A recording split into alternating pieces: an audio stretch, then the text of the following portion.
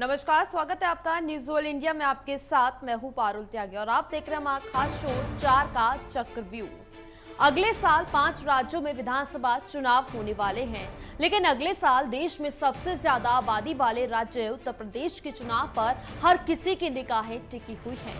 और चुनाव को देखते हुए तमाम राजनीतिक दल अब सक्रिय हो चुके हैं। अचानक मुस्लिम, ओबीसी, ब्राह्मण, क्षत्रिय और दलितों की बात होने लगी है। वोटरों को लुभाने की सारी तिकड़गे शुरू हो चुकी हैं। चुनावी रण में सभी राजनीतिक दलों का एक दूसरे के वोट पर चोट करने का इरादा भी है। सब कुछ सेटिंग पर डिपेंड करता है। ऐसे में मतदाताओं को लुभाने के लिए विवादास्पद बयानों, स्कीमों और गोष्ठियों का दौर शुरू हो चुका है। हर पार्टी का एक सेट वोट बैंक है और ऐसे में चुनावी शतरंज की बिसात में वही जीतेगा जो अपने वोट बैंक को हिलाने में कोई भी कमी नहीं छोड़ेगा। इसीलिए विकास तो सिर्फ़ बातें हैं। इतिहास गवाह है कि यूपी का चुनाव आते ही सबसे पहले जातीय और धार्मिक समीकरण देखने को मिलता है। और इस बार भी वही होगा। सच तो ये है कि इसकी बानगी देखने को मिलेगी और मिलती भी रहेगी आगे आने वाले समय में। लेकिन सबसे ज़्यादा चर्चा में इस समय जो है, वो है ब्राह्मण। प्रदेश में 9 साल से सत्ता से दूर बसपा ने ब्राह्मणों को साधना एक बार फिर से शुरू कर दिया है। इसके ज़रिए मायावती 2007 के सोशल इंजीनियरिंग के मॉडल को दोहराने की जुगत में है। उन्हें पता है कि अपना वोट बैंक बनाए रखते हुए अगर वो सत्तारूढ़ बीजेपी से ब्राह्मणों को अपने खेमे में खींच लाती हैं तो ऐसा मुमकिन है। पहले भी वो ऐसा कर चुकी हैं और ब्राह्मण वोटों को खिसकाने के लिए उन्होंने अपने हिसाब से सबसे भरोसेमंद को जाति से ब्राह्मण सतीश मिश्रा को इसकी ज़िम्मेदारी सौंपी थी। और पिछले कुछ समय से वो सूबे में ब्राह्मण सम्मेलन कराते हुए भी नज़र आए। ये फॉर्मूला कितना हिट होगा, ये तो समय आने वाला ही बताएगा। लेकिन ये इस बात पर भी निर्भर करेगा कि ब्राह्मण उनकी बातों से कितना कन्विंस हो पाते हैं। सपा भी ब्राह्मणों को हाथों हाथ लेना चाहती है। उधर सपा अध्यक्ष अखिलेश यादव ने 22 अगस्त से जिला स्तरीय ब्राह्मण सम्मेलन के ज़रिए ब्राह्मणों तक पहुँचने की कोशिश और तेज करती है। बहुजन समाज पार्टी प्रमुख मायावती ने लखनऊ में आयोजित प्रबुद्ध सम्मेलन में वो बातें कही जिससे मंडल आंदोलन के बाद शुरू हुई। दलित राजनीति की मूल अवधारणा पर भी सवालिया निशान लग गया है। उन्होंने पिछड़े दलितों, वंचितों के साथ साथ ब्राह्मणों को भी शोषण का शिकार बता दिया। बड़ी बात यह है कि उन्होंने उत्तर प्रदेश की मौजूदा योगी आदित्यनाथ सरकार पर ही ब्राह्मणों के शोषण का आरोप नहीं लगाया, बल्कि ये तक कहा कि अतीत में भी होता रहा है। कभी ब्राह्मणों समेत अन्य अग्नि जातियों को शोषण बताकर दलित राजनीति की सीढ़ी से सत्ता शीर्ष पर पहुँचने वाली पार्टी की मुखिया का ये बयान, देश के सबसे बड़े प्रदेश में करवट ले रही राजनीति का प्रकाश कहा जाए तो कोई भी अतिशयोक्ति नहीं होगी। तिलक, तराजू और तलवार, इनको मारो जूते चार से शुरू हुई इस राजनीति का सफ़र। साल 2007 में ही ब्राह्मण शंख बजाएगा, हाथी बढ़ता जाएगा तक पहुँच चुका था। लेकिन 2021 में मायावती ब्राह्मण भी शोषित कहकर इस सफ़र को एक नई दिशा देती हुई नज़र आ रही हैं।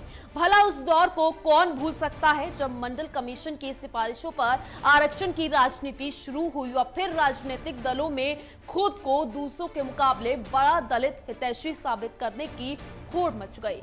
इसी प्रतिस्पर्धा ने राजनीतिक दलों को दलितों, पिछड़ों के हक हुकूक की चिंता करने के लिए सीमा से निकालकर अगड़ी जातियों के प्रति आघात घृणा फैलाने के खुले मैदान में उतार दिया। सिर्फ़ बीएसपी की भी बात करें तो इसके संस्थापक कांशीराम के दिए गए नारे ही ये बताने को काफ़ी है कि दलित राजनीति की आड़ में ब्राह्मणों समेत तमाम अगड़ी जातियों के प्रति किस हद तक जहर उगले गए थे।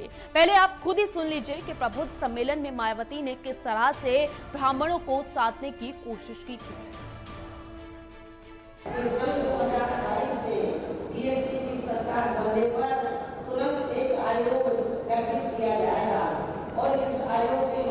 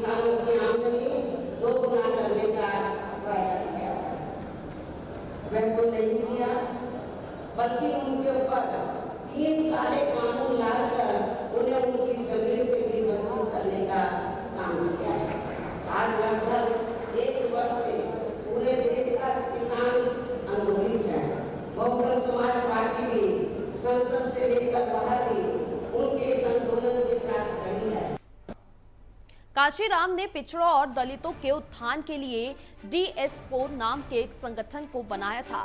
तब उन्होंने नारा दिया था कि ठाकुर भावन, बनिया चोर, बाकी सब हैं डीएस फोर। तिलक, तराजू और तलवार, इनको मारो जूते चार का नारा। समाज में अगड़ी जातियों के प्रति किस हद तक घृणा का सूत्रपात्र किया होगा, इसका अंदाज़ा आसानी से लगाया जा सकता है। बात यहीं तक सीमित नहीं रही, बल्कि मामला जय श्री राम तक पहुँच गया। इसे राम मंदिर आंदोलन से बीजेपी के प्रति जनता के बढ़ते झुकाव के संकट का सामना करने के लिए एसपी, बीएसपी के गठबंधन के प्रतीकात्मक नारे में भी महसूस किया जा सकता है। तब नारा दिया गया था कि मिले मुलायम, काशीराम, हवा हो गए जय श्री राम। ये नारा सिर्फ़ बीजेपी के विरोध तक सीमित नहीं रहा।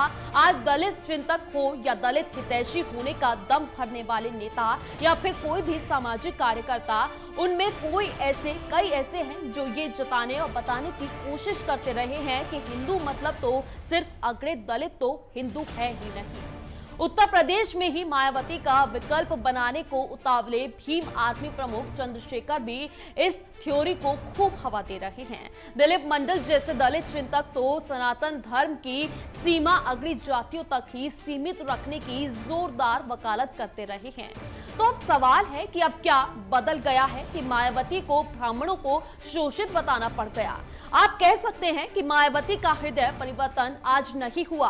उन्होंने 2007 में ही सोशल इंजीनियरिंग के सहारे यूपी की सत्ता पाई थी। तो आइए 2007 की सोशल इंजीनियरिंग के नारों की भी जरा बात कर लेते हैं।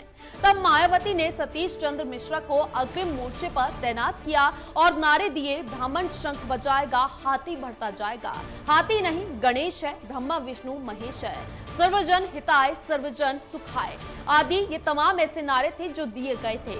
और पहले भी हम आपको बता चुके हैं कि 2007 में बीएसपी की राजनीति ने ब्राह्मण शंख बजाएगा, हाथी भरता जाएगा तक का सफ़र पूरा कर लिया था। लेकिन तब वर्ग विभेद की सीमा नहीं मिली थी। तब ये तो कहा गया था कि ब्राह्मण शंख बजाएगा, लेकिन ये नहीं बताया गया था कि जब ललित हुंकार भरेगा तो ऐसे में उसका क्या होगा। अब मायावती ने बता दिया कि ब्राह्मण के शंख और दलित के हुंकार विरोधाभासी नहीं है। वही दोनों ही शोषितों के चित्कार की प्रतिध्वनि है। अब आप सोच रहे होंगे कि अगड़े पिछड़ों के बीच इतनी बड़ी खाई बनाने और बढ़ाने में सालों पसीना बहाने वाली बीएसपी के सामने ऐसे क्या मजबूरी आ पड़ी कि उसे सब कुछ कंट्रोल प्लस जेड करना पड़ा। यानी कि फिर से वही फॉर्मूला अपनाना पड़ रहा है। दरअसल पिछड़े वर्गों के आरक्षण के ज़रिए मंडल पॉलिटिक्स के वक्त बरकस बीजेपी ने अयोध्या राम जन्मभूमि के हवाले से कमंडल की राजनीति शुरू तो कर दी और ऐसे में दो ध्रुवीय सियासत ने अपना आकार ले लिया। दलित राजनीति वाली पार्टियों ने अग्री जातियों से सत्ता छीन ली तो बीजेपी ने जय श्री राम के ज़रिए उन्हें धर्म संस्कृति की ओट से सहारा दिया। इस तरह सियासी ज़मीन खोए ब्राह्मणों को सांस्कृतिक ज़मीन मिली तो उन्होंने उसे से संतोष कर लिया। लेकिन आज माहौल बदल चुका है।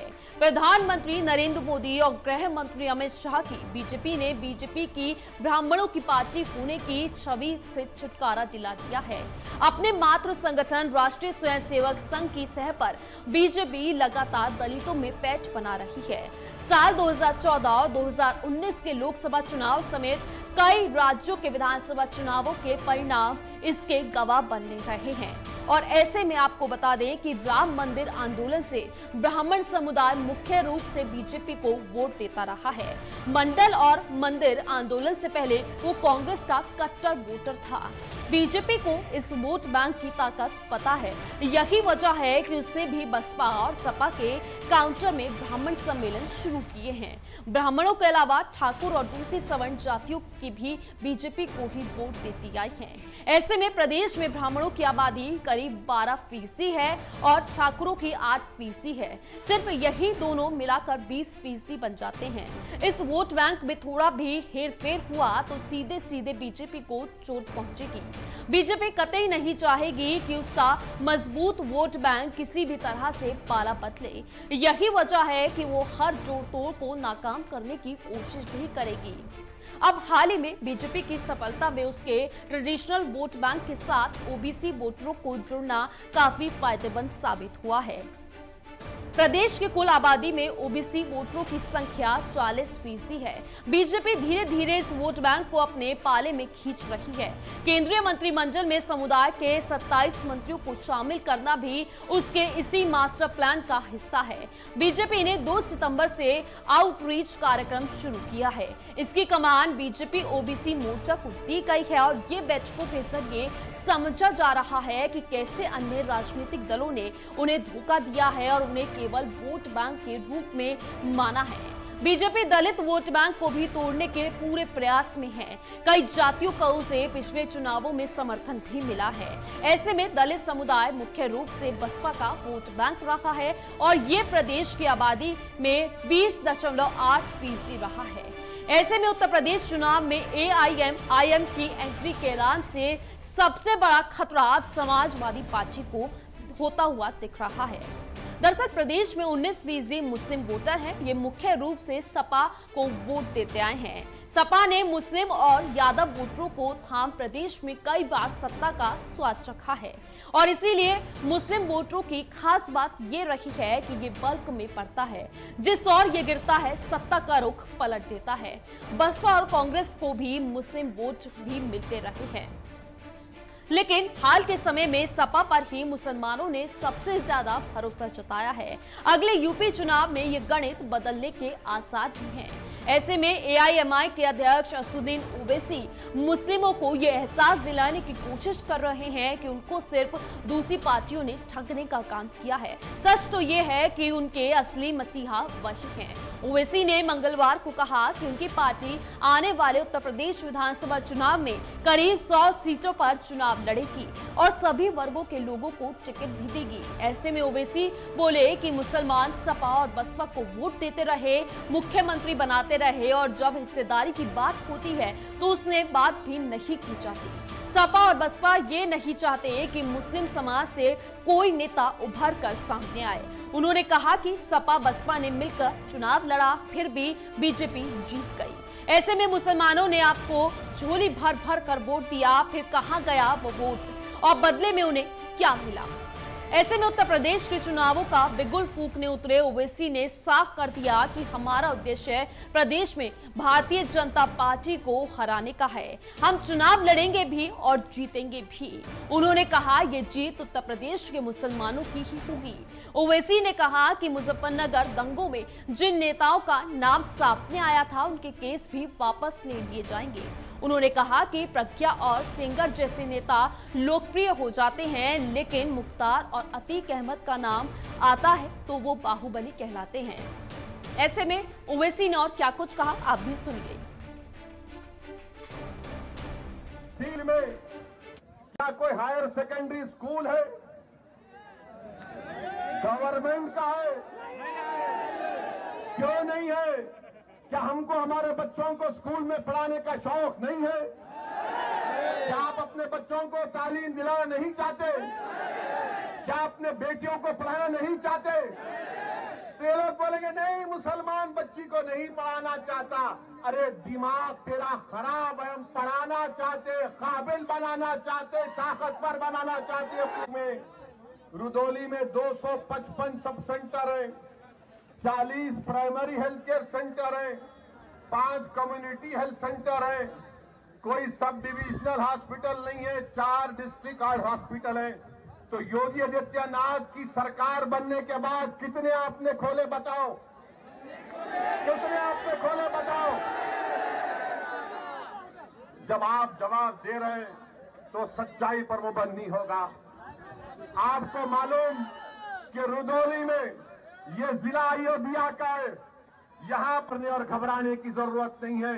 ये समाजवादी पार्टी हो बीएसपी हो, या फिर कांग्रेस हो, या बीजेपी हो, इनको एक ही बात की तकलीफ़ है कि पूरे भारत में मुसलमानों की कोई पॉलिटिकल लीडरशिप ना बने।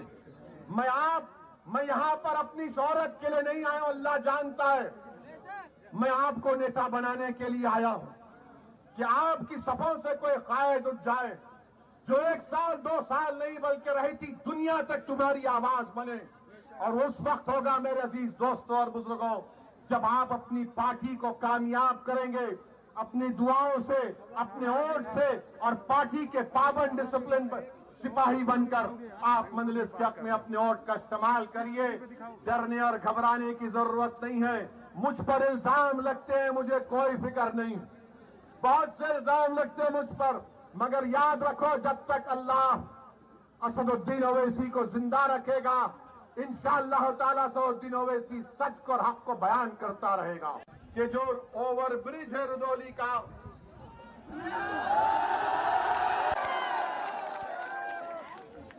ओवर ब्रिज नहीं बना, और जो मुख्यमंत्री बाबा है, बाबा को भी पता नहीं है। बाबा को बोलेंगे ओवर ब्रिज तो बाबा बोलेंगे, नाम बदल दो यानी हमारा हाल ऐसा हो गया है। और फिर ओवरब्रिज नहीं होने की बिना पर हाईवे पे आने के लिए लंबा सफ़र 10 किलोमीटर का करना पड़ता है। और दूसरी बात यह है कि यहाँ पर जो कम्युनिटी हेल्थ सेंटर है, माशाल्लाह खंडेर में तब्दील हो चुका है। मेरे अज़ीज़ दोस्तों और बुज़ुर्गों पाइप लाइन के लिए रोड खोद दी गई है, मगर ये विकास हो रहा है बाबा के दौर में। बाबा के पास एक ही फार्मूला है, जाके बाबा को बोलिए, सर बोले नाम बदल दो, काम हो जाए। ज़ाहिर है, कहीं ना कहीं ओवैसी ने अयोध्या पहुंचकर मुस्लिम कार्ड खेल दिया है। ओवैसी की चुनौती को अखिलेश यादव हल्के में नहीं ले सकते हैं। दरअसल यूपी में तकरीबन 19 फ़ीसदी मुस्लिम वोट है और ऐसे में ओवैसी की पार्टी एआईएमआईएम ने राज्य की 403 में से 100 सीटों पर चुनाव लड़ने का ऐलान कर दिया है। ऐसे में मुस्लिम यादव और ओबीसी की अन्य जातियों की सोशल इंजीनियरिंग के सहारे अखिलेश को इस बार उम्मीद है। लेकिन अगर मुस्लिम वोटों में सेंध लगती है तो समाजवादी पार्टी की संभावनाओं पर भी असर पड़ सकता है। ट्रेंड ये रहा है कि एक बार जब ओवैसी यूपी आते हैं तो तीन जिलों को चुनते हैं। और जैसे जनवरी में जब वो आए तो वाराणसी, जौनपुर और आजमगढ़ के दौरे पर पहुँचे थे। इस बार उन्होंने सुल्तानपुर, बाराबंकी और अयोध्या का दौरा चुना था। ऐसी जगहों को चुन रहे हैं जहाँ उनके समुदाय के लोग मिले और भीड़ को इकट्ठा हो सके। ऐसे लोग जो एकाध चुनाव क्षेत्रों में प्रभावशाली है उनको और जिनको अन्य दलों में जगह नहीं मिल रही, वो इनके साथ आ जाएँगे। इनकी कवायद यूपी की राजनीति में कोई मायने नहीं रखती है। जिस वर्ग की ये राजनीति कर रहे हैं, वो भी इनको जानता है। वो इनके भाषणों को सुन ले और खुश हो जाए, ताली बजा ले, लेकिन वोट के मामले में इनको तवज्जो नहीं दी जाएगी। ओवैसी कोई फैक्टर नहीं है और ना ही यूपी में परिवर्तन पैदा कर सकते हैं। जो राजनीतिक समीकरण चल रहे हैं, उसमें इनकी कोई भूमिका बनती नहीं दिख रही है। ध्रुवीकरण की इस राजनीति को हमेशा ओवैसी जैसे लोग सूट करते हैं। और ओवैसी का यूपी में ज़्यादा समय देना, ज़्यादा सक्रियता बढ़ाना, ज़्यादा जगहों पर लोगों को खड़ा करना, उनकी पॉपुलर होने की पॉलिटिक्स के लिए मुफीद भी होगा। ओम प्रकाश राजभर के साथ उनका गठबंधन कमोबेश टूट चुका है। भागीदारी संकल्प मोर्चा बचा नहीं है। महान दल उसमें नहीं रह गया है। वो समाजवादी पार्टी के साथ ही जा चुके हैं। इसके अलावा जनवादी क्रांति पार्टी भी सपा के साथ है। आज़ाद समाज पार्टी भी कमोबेश आरएलजी के साथ है। शिवपाल यादव की प्रगतिशील समाजवादी पार्टी की तरफ़ से भी लगातार सपा से करीबी के बयान जो हैं वो आ रहे हैं। ऐसे में राजभर अब ओबीसी से अपनी राजनीति को अलग कर चुके हैं। भागीदारी संकल्प मोर्चा नाम की चीज़ बची ही नहीं है। इसीलिए ओवैसी और ज़्यादा टेंशन में आ चुके हैं, क्योंकि अब आने वाले वक्त में आगे क्या होगा, ये देखने वाली बात है। और जिस वोट बैंक को साधने की ओवैसी लगातार कोशिश कर रहे हैं, क्या वाकई वो उनके साथ रहेगा या नहीं रहेगा, साथ देगा या नहीं देगा, ये तो विधानसभा चुनाव में साफ़ हो जाएगा। इसी के साथ फ़िलहाल इतना ही। आप देखते रहिए न्यूज़ वॉल इंडिया।